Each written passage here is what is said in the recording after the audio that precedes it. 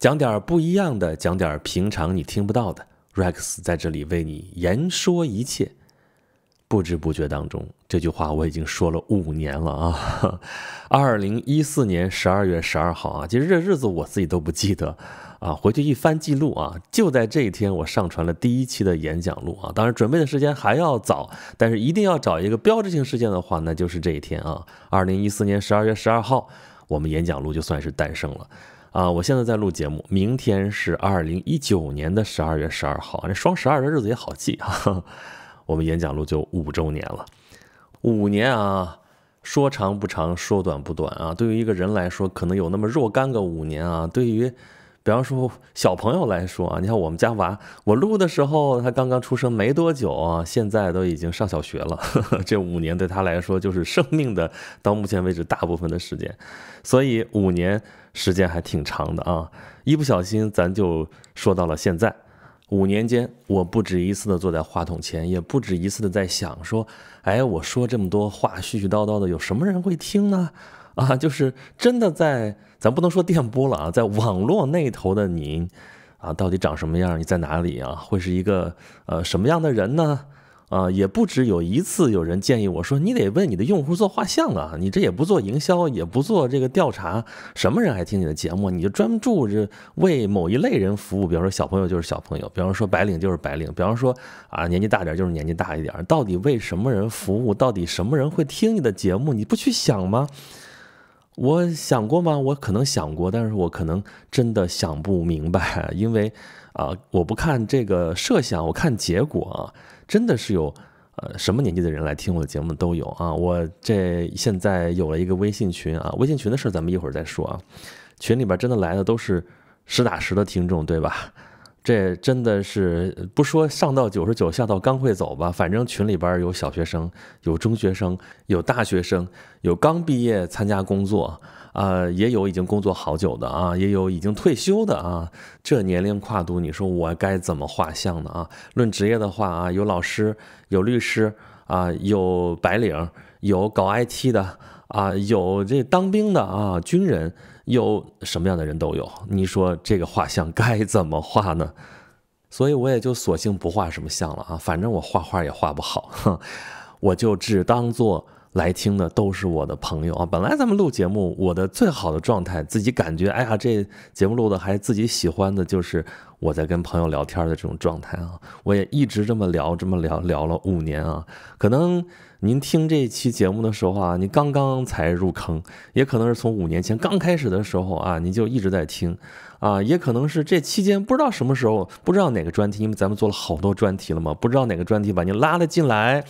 中间呢，断断续续啊，听一听啊，就放一放，再停一停，回头又听一听，到现在五年过去了，居然发现他还活着啊！虽然咱们这个演讲录啊，这个更新一如既往的不怎么规律，但是总算时不常还是有更新的，对不对？啊，这得算是个奇迹啊！对于我来说，尤其是一个奇迹，我居然把这一件事情做了五年，这实在是要感谢大家对我的宽容啊！因为打一开始我就。啊，宣称我的节目就是任性啊，咱就是任性吧，对吧？我任性表现在我说什么这事儿没谱啊，我什么时候说这事儿没谱啊？高兴了咱就多做几期啊。我最开始的时候，因为一开始也没有那么多负担，也没有那么多啊可能顾虑啊，所以可能呃录的节目就会多一些。有的时候一天我能录个三期节目啊，但现在几乎就很难做到。无法想象啊，因为现在可能考虑的东西会比较多一些，反而没有那时候那么轻松啊。当然现在也还好，因为跟朋友聊天嘛，不会有什么太大的压力啊。只是因为有些话已经说过了，我得想有些话我说过没有啊？我这个说的合适不合适？可能想的会多一些而已。这一想多了呢，可能十天半个月的就不更新啊，哎，可能是实在是累了啊。你说哪儿只十天半个月啊？经常好几个月不更新，对，那就是有项目来了啊，有事情来了，你这也得为稻粱谋，怎么办呢？咱也不能老一直在这说，一直说，所以有的时候就对不起大家啊，搁那儿三个月、五个月停掉，但是好在。啊，他回头又复活了，你甭管他是诈尸了，还是他这个又又发神经了，反正他又活了，我又来了，这个演讲录总还是在的啊。呃，我只能说我一直也没闲着啊。到现在为止，你把演讲录的系列节目啊，因为演讲录已经不是单纯这一个专辑了啊，这个专辑叫演讲录，大流水号这么排着。但是我说的所有的节目都可以算是演讲录啊。呃，咱们实际上是某一个话题说着说着多了，觉得讲一期不过瘾，可能就得开一个专题。一开专题，可能就是一个坑啊。到现在为止，我那天捋了一捋，你说我都讲了些啥东西啊？五年的时间啊。咱们有研读对吧？读万卷书啊，沿途行万里路啊。莎士比亚一个大专辑搁那儿啊，这已经完本啦，难得完本了。凯撒啊，这个大专辑搁那儿完本了啊，这个是完本了。然后星座系列这个还是坑在这搁着呢，大航海系列这个坑还在这搁着呢。声律启蒙说一半了，快啊！然后眼影讲这个电影的也没半独立半不独立吧，反正枝枝杈杈的专题是一个又一个啊。但是这专题你别看这。一个一个的，好像在这坑还没填完呢，但是它总有填完的时候。可是演讲录呢，虽然这个更新是完全没规律，你别问我规律，我自己都不知道哈。但是那些专题再是个坑，总也有填满的时候啊。但是演讲录这个专辑应该会，只要我在说，应该就会一直在说下去啊。所以它可能活的是最长的啊，五年的时间啊，就咱们刚才说的那些节目啊，这个。各个系列的全都算上的话，我没有具体算过，但是粗略估计的话，啊，把这些所有节目从头到尾，你要是全听一遍的话，大概不眠不休一两个礼拜还是要的啊。这么一说的话，好像我讲了五年，还是沉淀下来不少东西的啊。这么多节目，你要是还有没听着的话啊，我回头公众号里边就叫演讲录那个公众号，或者是轩辕十四工作室，我两个公众号嘛，一个订阅号，一个服务号，里边啊，我会发一个列表。这五年我讲过的所有节目都会在这个列表里面，大家可以比照着看啊。因为节目没办法，各个平台散落的都有，我尽量把它想整理到一个平台上去。但是因为各种原因吧，啊，这个具体原因说起来比较复杂，今天就不说了啊。反正是散在各个地方，有那么一个列表呢，大家可以对照一下，说哎哪些节目还没有听过啊，可以去找来听一听。反正是演讲录做了五年了，我不知道它对您意味着什么。但对我来说，这是一个非常神奇的事情，也可能是我迄今为止做的最神奇的事情，咱说之一吧。呃，因为这件事情做起来不像大家想象的说，哎呀，你就在这儿说，你就做节目，就做节目这件事情会给我带来一系列的意想不到的一些结果。呃，比如最直接的就是我能认识那么多的朋友啊，这就是我们拜这个时代所赐了。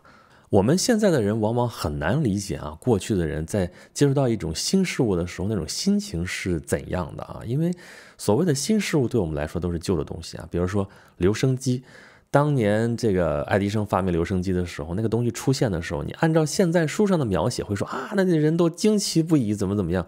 对我们来说就是一段文字记载。但是你要能设身处地去想的话，这真的是一个划时代的发明。因为在那之前，人是听不到过去的人说的话的啊。人的语言文字，语言文字啊，是人沟通的工具，对吧？语言文字放一起，其实语言的发明和使用远远的早于文字，对吧？人其实是更习惯于说话来交流的。但是呢，这个文字发明之后啊，就给了人类一种可能性，就是现在的人可以跟过去的人跨越时空进行对话。啊，通过什么？通过文字记录，但这毕竟只是干巴巴的文字啊！我在讲《信息简史》那本书的时候，里边有这一段啊，就是说这个文字发明如何如何，它使得人类文明可以传承啊。那这样啊，下一代人都可以在上一代人的智慧基础之上继续再往前发展，这个就不用说它了。但是留声机发明了之后，这个真的对话就发生了，因为这个语音能够被记录下来了啊。我们现在的人是习以为常，但是刚刚出现这项发明的时候，真的能把人吓一跳啊！后来又有了广播，后来又有了电视，后来又有了网络，有了这一切，才可能有演讲录啊！想想吧，我在这个地方说的话，可以传到散布在天涯各处的人的耳朵当中啊！我真的是想想就觉得不可思议啊！一直到现在，我做这节目都做了有五年了啊！偶尔我还会。觉得这有点小激动，而且传递过去的那只是声音吗？声音只是一个载体啊，因为它是线性的，是一维的，就跟时间一样就往前流逝。它跟看视频还不一样，因为视频信息量太大了，我们快进啊跳过去，我们能看明白很多东西。但是声音，你这段跳过去了就是跳过去了，你可能我是说了一句话你没听见，就是没听见。所以很多人听这个声音的时候都是在那儿放那儿安安静静的在听，所以无形当中我就陪伴着某个人度过了一段生命的时长。这样想来，我又真的感觉有些诚惶诚恐啊。正是每一个这样的朋友啊，有这样的耐心，有这样对我的宽容，才让我走过这五年啊，才让这么一个听起来没谱的节目啊，居然还能野蛮生长，还能继续活下去。那么这些朋友就像听到这话的您一样啊，本来是散落在天涯的啊。本来是我可能就只是说话，然后你们在听的啊，这是在大众传媒时代是这样，但是在移动互联网时代啊，在这个新的沟通的时代，我们就有了一些新的其他的沟通方式，比方说我有公众号啊，大家在里边可以跟我互动啊，公众号是什么记得吧？轩辕十四工作室，还有演讲录两个号啊，大家可以在里边给我留言，可以互动，这是一方面。到了后来去年的时候啊，去年年初，我终于下定决心，算是开了微信群。呃，哎，这终于跟咱们这期节目的标题呼应上了。我们说了有十分钟了嘛？这期节目其实就是老听众在听啊，不是老听众可以不用听了。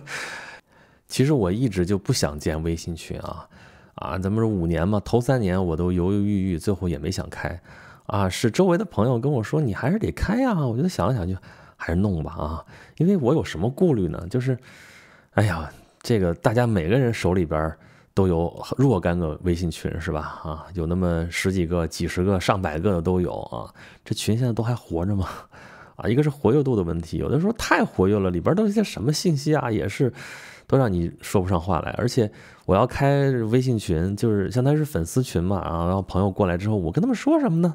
或者他们在里边说什么呢？我当时没有想太好。然后这群主嘛，后来说你还得负责任啊，里边人说句话，这说的不合适了怎么办啊？我得怎么着？我得实时在线吗？别人说什么了，我都得盯着吗？我的天哪！一想想这事儿就头大，后来就一直没开。但是到去年年初的时候啊，终于在别人撺掇之下，我后来想了想，就还是开一个吧。开一个不行，反正我是群主，大不了解散。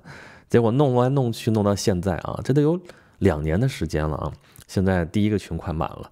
这个人数增长可不能算快啊！两年的时间一个满群，呃，那有什么好说呢？对不对？但是我觉得这个群一直发展到现在，这个生态非常的好，这个气氛非常的好啊。我觉得在里边还是比较舒服的啊，而且不光是我啊，大家都这么多人在里边啊，虽然也有人来人往，但基本上这个人数在稳定往上增长，而且大家还很活跃啊。我一个朋友刚刚我把他拉进来，他说：“你这个群真的是，我待了一天就觉得信息好多啊，你这个群是我唯一一个超过一百个人还这么热闹的大群。”我说你这还是来晚了啊！我们早先更热闹了，一天上千条不成问题啊。所以有些人就是喜欢清静的就退掉了。当然后来有的时候有些人还又回来了，说这个气氛还是蛮好的啊。所以我也是在想，我说微信群到底是个啥东西？为什么它跟我以前设想的可能不太一样？跟我手里面躺着的其他的一些啊各种各样的微信群可能也不太一样。这一切又是怎么发生的呢？啊，我不禁陷入了沉思啊，装一下啊。所以微信群到底是个什么东西呢？你说我们太熟悉了，我们太了解了，这也天天都在用。那你的群都是一些什么群？我觉得可以分分类啊。有一些群属于事件群啊，我们大家凑着一块出去玩吧，好建一个群。这个事儿完了之后，大家有的时候有一搭没一搭，可能聊两句天儿；有的时候事儿过了好长时间了，可能也就慢慢就沉下去了，这个群就死了啊。过了事件就凉凉了嘛啊。有的可能是工作群啊，这个天天也很热闹，但是。可能这是大家最不想看的一个群，这都是因为微信嘛，给大家的感觉都是大家平常日常聊天的一个地方。但是这个微信群里边有一个工作群，工作跟生活就给合到了一起，所以有些人干脆就两个号，一个就是工作号，一个就是平时聊天的号。但是你又忍不住说这个号我正好在这登录的，我用这个跟谁谁谁说句话吧。这工作和生活又很难分开啊，其实是工作和生活分不开啊。我们早先。这个微信刚刚开始兴起的时候啊，说我们同学聚会啊，说咱们得有一个日常联系的一个机制啊。原先还有同学录这种东西啊，现在都用什么？能用微信了。我说那就微信群啊，好，微信群，微信群建了一个之后，发现大家在这边瞎聊天啊，这挺好的，同学联络的感情嘛，对吧？但是班长说话了，说不行，这个大家光闲聊天，我要发点什么消息怎么办呢？发点通知啊，咱们一块儿做点什么什么事儿啊？这都淹没进去了，不行，咱们得再再设一个群啊，就讨论一些严肃的问题啊，比方说我们 什么时候去聚会，什么类似这样的事情。可是最后发现两个群里面都在聊天啊，最后无奈只能是合并啊，因为你在这个微信环境里边你不聊天，这事儿感觉总是怪怪的。可是工作群就能做到这一点啊，大家在里边都是领导，都是同事。话平时就不敢多说啊，在这里边那就交代事务吧。但是跟这个微信的这个环境就感觉有点怪异啊。还有一些家长群，家长群也是非常神奇的存在啊。家长群里边有老师，有家长啊，对老师不得小心翼翼的，对家长不得客客气气的啊。所以这个气氛也是比较正儿八经的啊，也是里边大家觉得这里边可能会有一些拘谨。然后亲友群，亲友群这个事儿也不好说啊。你虽然一家人，但一家人有的时候你面对长辈，你的话有的时候不能放肆啊。小朋友在一起，小朋友说的话啊，这个中年人有中年人说的话，老年人老年人的话题都放一起呢。一家人倒是相亲相爱，这个没问题。但有些话也不能随便乱说啊。不过总之吧，啊，工作群、家长群、亲友群，这都算是比较正常的群，对吧？那哪些群是不正常的群？就。我们平常碰到的那些稀奇古怪的微信群吧，大家想想吧啊，你都进过哪些奇葩的微信群？啊，有的群不许聊天儿，我进个群里边，高高兴兴拜个山头，哎呀，各位大佬，那个我来了啊，小小弟在这儿，什么先跟大家有礼了，什么什么东西，说马上有人蹦出来说这群不聊天儿。我碰到过这样的啊，这群不聊天，那干嘛呢？说这个群就是发文章的啊，就是哪儿地方好文章往这儿分享，然后不许人说话，谁说句话都给人怼回去。久而久之，这群就死气沉沉的啊，只有一条一条的文章，而且多数都是群主发的，那也太不自在了吧？所以我就撤了。那这个就是专门的文章分享群，那还有不许发文章的啊？谁转别地方链接进来，这个群主就开始说啊，这个我们群规里边规定了不许。这那，然后就不许发外边的链接进来啊！发什么呢？啊，多半这样的群都是因为某个人、某个事儿，其实这是他的营销群啊。好像建了这个群之后啊，我的地盘我做主，你就不允许发别的地方发过来的东西，那只能看他的东西。那他的东西也就那些，然后别的话题都不允许说，那算了呗，对吧？其实这是我一开始开微信群之前最怕变成的一个样子啊。因为你号称是粉丝群，那怎么着来的都是你的粉丝，然后你只许大家在里边说跟你有关的话题嘛？你是谁呀？你凭什么要围着你转？为什么呀？对不对？如果真是那样子的话，我反而觉得很不自在。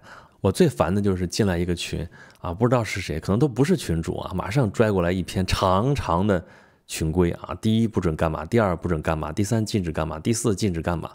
急得我都想说禁止说禁止，但是就是有那么多的规矩，还说哪个地方没有规矩啊啊？怎么怎么着的？我说是的有规矩，但是你这个微信里边，它它功能就是这个样子，你不让我聊天，不让我说话，不让我转东西，怎么怎么样的？有些东西确实烦，广告大家转的都很烦，但是这不是基于禁止吧？这是基于一个公共场合里边大家的一个互相尊重，也就到此为止了吧。那么除此之外的一些所谓的规矩啊、群规，哎呀，我要是非得在这儿不可，我就忍一忍啊。如果不是非在这儿不可，拔脚我就走呗，至少我有这个自由啊。当然了，人家也没非要留你，对吧？但是我就说这种现象啊，总是有点觉得别扭。